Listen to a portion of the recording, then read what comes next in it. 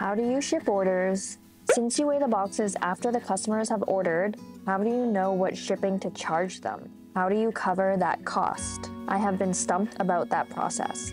Shipping is such a headache for me. Shipping is so expensive in Canada. How did you figure it out? Today, I'm going to be doing my best to answer all of those questions and show you from beginning to end how we pick, pack, and even print out the shipping label for an order. I'm going to share screenshots exactly how we set up our shipping and the back end process on my computer of what it looks like so you can get set up too.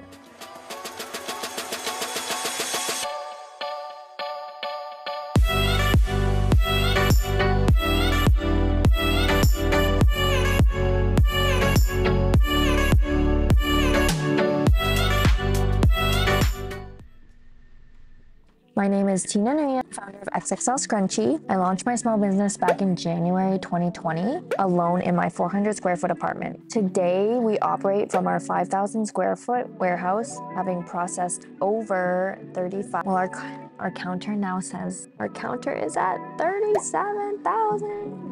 People often ask me, how do I ship orders? How do you ship an order? I have no idea where to begin. Today, I'm actually going to be explaining how to ship an order step by step for your small business. And I'm going to be sharing some major shipping mistakes I've had in the past. So hopefully you'll learn from them too.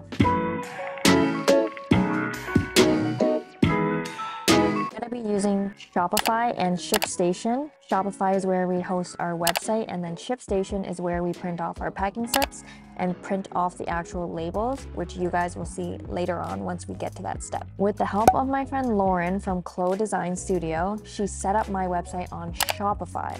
It's a far more versatile, user-friendly platform, which is what our website is set up on now, and I love it. This is where your customers on your website are going to make purchases. This is where you'll update your inventory. This is where you'll update your shipping settings.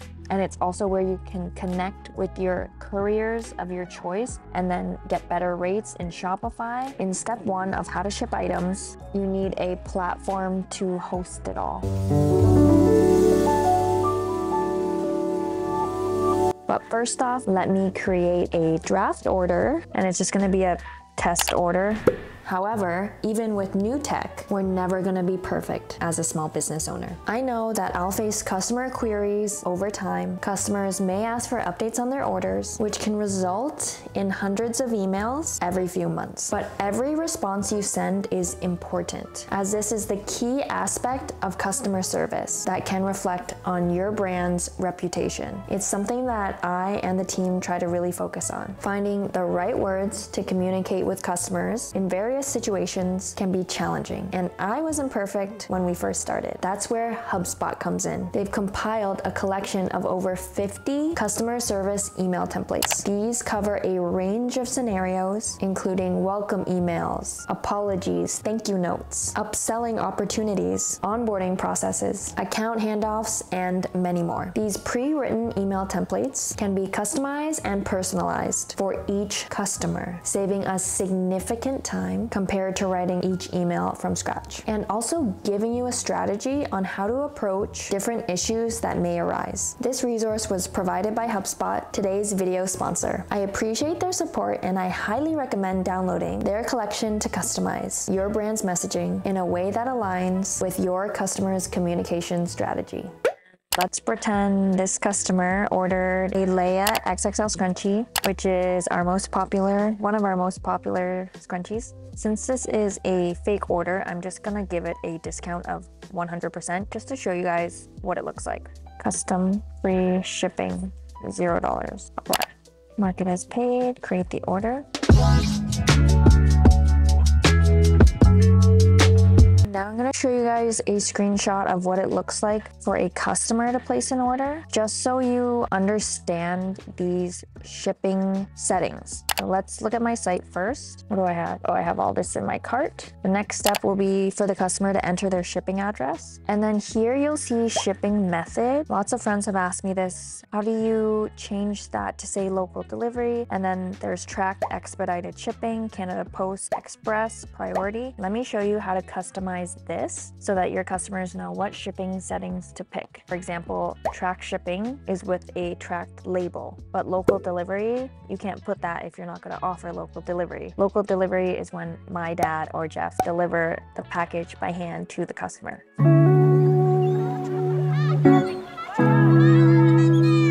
In Shopify, you can go to your settings and then you would hit shipping and delivery on the side. And here is where you can do general shipping rates. And if there this was empty, you would click create a new profile. So let's pretend to do that. Create a new profile. Shipping zones, you would create a zone and you would select the country, for example, Canada. And then you would click the countries that are eligible for this shipping rate. I'll click all of Canada. You can do it per province. You can make them really custom because shipping to BC costs twice as much as shipping to within Ontario. But we keep those rates all the same, but you could customize let me show you. You click done, says there's no rates. Customers in the zone won't be able to check out. By adding a rate, you can use a flat rate. And what I did was hit custom. After I hit custom, I typed in what I wanted it to be called here. I named it tracked expedited shipping myself because I thought that made the most sense for a customer. So you could put free shipping, you could put tracked shipping. I would put the days like 8 to 15 business days, custom delivery option. So this optional word is for you could put tracking number provided. And the price of this is $9.99. However, if customers in our shop spend over $99, it's free and I'll show you how to add that. So I'm gonna click add conditional pricing and then it's based on order price. So from zero to $98.99, it will cost them $9.99. I'm gonna hit done. I'm gonna add that free rate. So I'm gonna add here, go to custom, custom rate name, free tracked shipping, 8 to 15 business days, tracking number provided. See the checkout preview down here? That's how it shows up to your customer, just like it does here. And then that will be free, but you have to add the condition based on order price if they spend a minimum of $99.99 and there's no max because they could spend as much as they want and they'll get free shipping over $99.99. Hit done. Remember to hit save. I'm not going to because I already have these rates existing. And there is that one question a customer said, if you already pre-charge your customer before you weigh out their package, how do you balance out the cost? We, we don't. For us, we pay more shipping than the customer does because we'll charge them $9.99, but it could cost 20 to $25 depending on the weight of the package. Unfortunately, that's just something you can't get around unless, let me show you.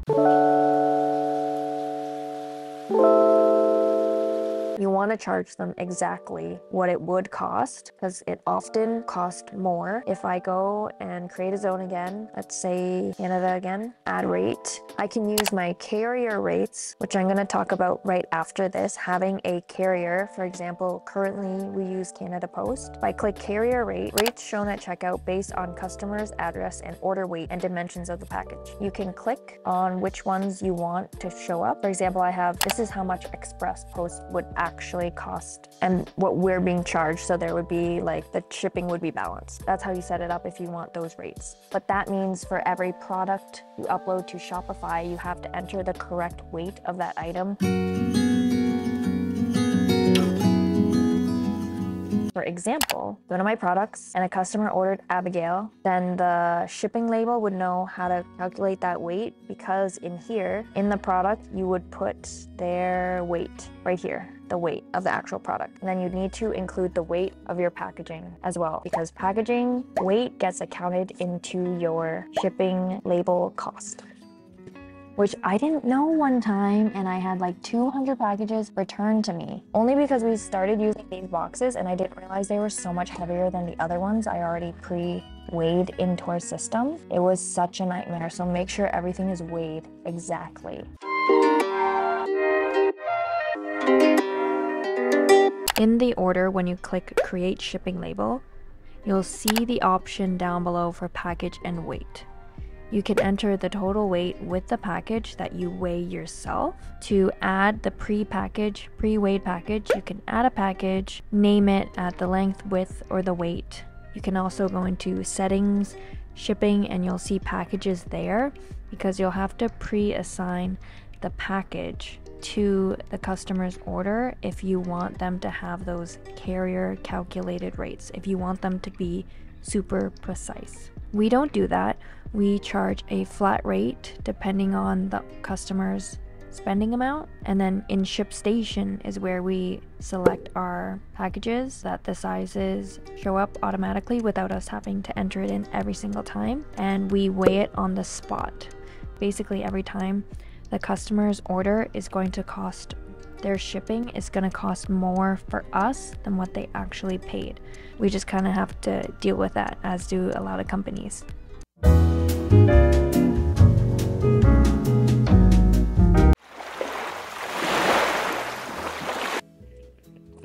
Let's talk about couriers. I've been using Canada Post since the beginning of time, only because it was like the only place I really was familiar with. Like I've mailed letters there before, I've brought packages in to ship with them before. And when I got my first batch of orders, I remember going to the post office with my arms full, little grocery bags full of the packages. And I just like brought it to the counter and they would put the labels on and weigh it. And one package, a couple streets over, when I was living in Toronto, $30 because I didn't have a small business account or a commercial account. And when you sync with Shopify, you get Shopify discounted shipping rates, which I didn't know for the first batch of orders. So don't do that. Save you, it will save you money, it'll add up. In order to get courier rates, you'll need to have a courier of your choice. I know there's other third-party shipping companies out there, like I know there's Stallion Express, I know there's ClickShip, I've heard of Chit Chats which I wish we could use because I saw the rates are so good all over TikTok. Technically, right now in Shopify, if you set up with your couriers, meaning if you go to settings and you go to shipping, you can manage your accounts, your carrier accounts, and add your couriers. And you'll see we have Canada Post here. We have FedEx, but we've never used it before. I just have the account. You gotta sync your accounts so that Shopify knows who you're going to be shipping with, and then they'll give you those rate, and then they'll print off the appropriate labels. Let's say you weren't using ShipStation, which is what we'll be continuing on the rest of this vlog with.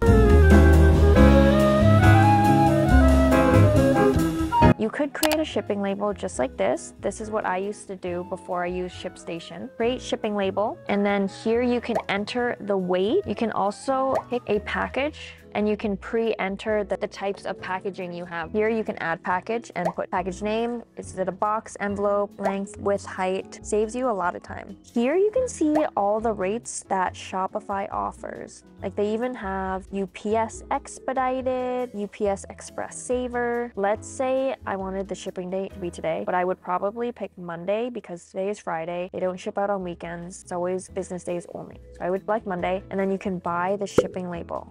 I'm not to click buy because I don't want it to buy, but I'm to do that in the next step in ShipStation. We are to move on now to ShipStation and I'm going to pull up the order. Just to give you guys a little description, ShipStation is a platform that syncs with my Shopify store and we've been able to add these SKUs. Let me show you. All of our products have SKUs and barcodes. Why you're wondering? When we print off this packing slip, the packing slips have all the information we need when we're picking the customer's order. And the packing slip goes in order of the warehouse. If they ordered a Cameron and an Alice, Alice would show up first. We made it like that so we could pick in order of the warehouse. And that's just a feature we love about ShipStation and why we use their packing slips instead of just printing right from Shopify. If you want to know how to barcode all your items so that you can pick them, I have a whole dedicated vlog on just that. But now we're going to pull up that fake order and here you can print the packing slip. And this is what the slip looks like and we're gonna print it off.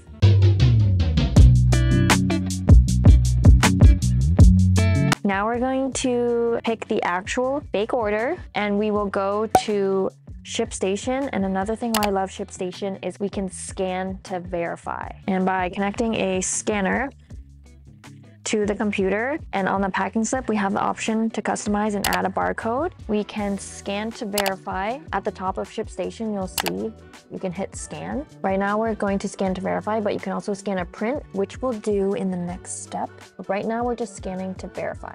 So we'll go there, scan the slip, and the order pops up right there, which is important because now we're gonna go scan for the actual item. For this order, they got a Leia XXL and I will scan the barcode. Ta-da! That noise indicated that order was done being picked.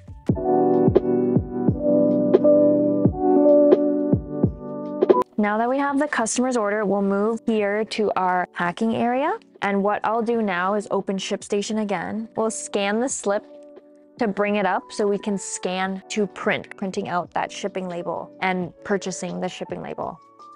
And scan the slip and the item comes up, a spot to add the weight and choose the shipping service and select the package and all that good stuff. But for us, our next step would be to write the customer's name on a thank you card.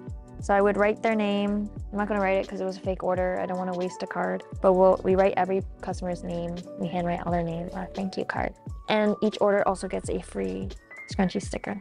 So the next step would be to pack up the order in the appropriate size. Try to pack it in the smallest box possible. For example, I would not pack this scrunchie in this box unless the customer really requested because it would cost way more because that box weighs more than what we would be shipping it in, which is this envelope and we put it in a bag first. We'll put it in a bag with the sticker and the thank you card.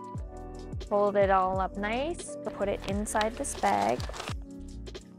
And the next step would be to weigh it. We have our scale right here and this package weighs 72 grams. I would go up here and type that in. I would select the package. When I click it, it already adds the dimensions, so I don't have to type it in individually every time. Everything looks good, and then I would print the label. And this is the shipping label you would then stick onto the bag and you would put in their packing slip in there so the customer can see what they got. Take this off, peel the bag, put this on it.